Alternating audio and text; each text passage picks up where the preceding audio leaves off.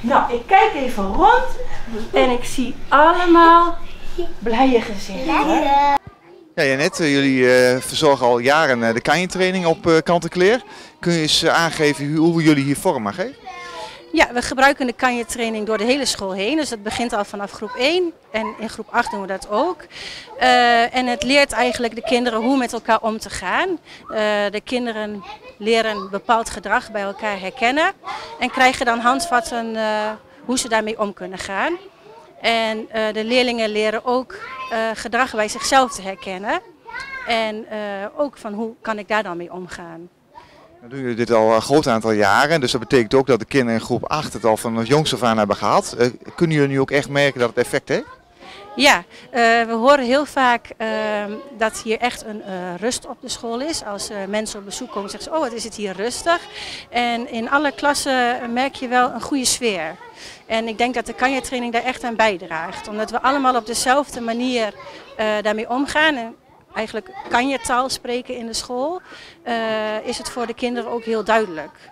En dat uh, komt de sfeer ten goede. Dan je vriendelijk. Dan kan je ook um, leren te vertrouwen.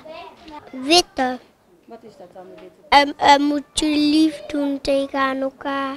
De rode. Nou, dan, lig, dan lach je iemand uit en dat is niet leuk. Oh, heeft een witte pet.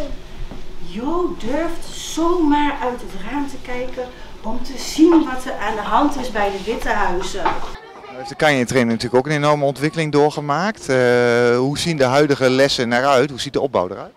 Uh, nou, in de kleuterklas uh, beginnen we echt met verhaaltjes en dan worden de kleuren petten uitgelegd en het gedrag dat daarbij hoort en hoe je daarmee om kan gaan. En er is een hele opbouw door de hele school heen. in de bovenbouw uh, bespreek je veel meer thema's die in de wereld aan de hand zijn en uh, ga je daarop in. Hoe kijkt een bankkonijntje? Want wat is er aan de hand met een bankkonijntje? Ja, dan kom ik neem ik aan ook in de bovenbouw, social media, omgang met groepsdruk, dat komt dan ook aan de orde. Ja, klopt. Daar zijn, uh, zijn lessen voor. En iedereen heeft uh, uh, digibordlessen die hij uh, kan gebruiken.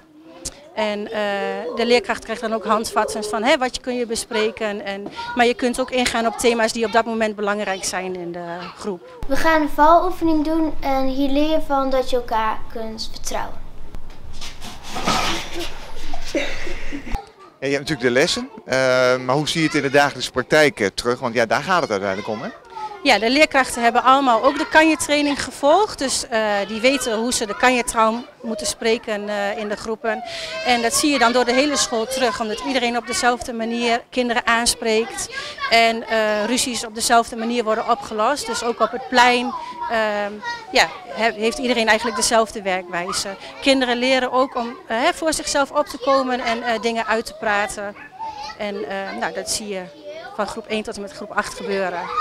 Vind je er als leerkracht van? Ik vind het als leerkracht heel fijn dat ik ook via de kanje training zeg maar, handvatten krijg uh, om met bepaalde situaties om te gaan. En uh, ja, ik vind het een hele mooie methodiek uh, voor de kinderen. Omdat je kinderen voelen zich echt veilig. En um, het gaat ook heel veel om vertrouwen. Hè? Dat je elkaar moet kunnen vertrouwen. Dus dat vind ik er heel fijn aan. We zetten allemaal de witte pet op. Dat kunnen jullie heel goed. En onze goede luisteroren. Ik sluit even af met waarmee ik begon. Jullie doen het al een groot aantal jaren. In het onderwijs uh, vernieuwen we heel snel. Uh, dit is denk ik ook wel een mooi voorbeeldje van uh, dat het goed is om ook eens even lang met iets door te gaan, hè, voordat het effect heeft.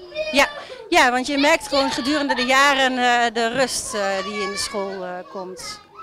Een beetje spannend, maar ik denk dat het wel gaat lukken. Ik denk niet dat ik um, op de grond ga vallen. Jee, bedoeling.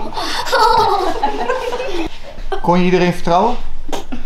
Ja, eigenlijk wel.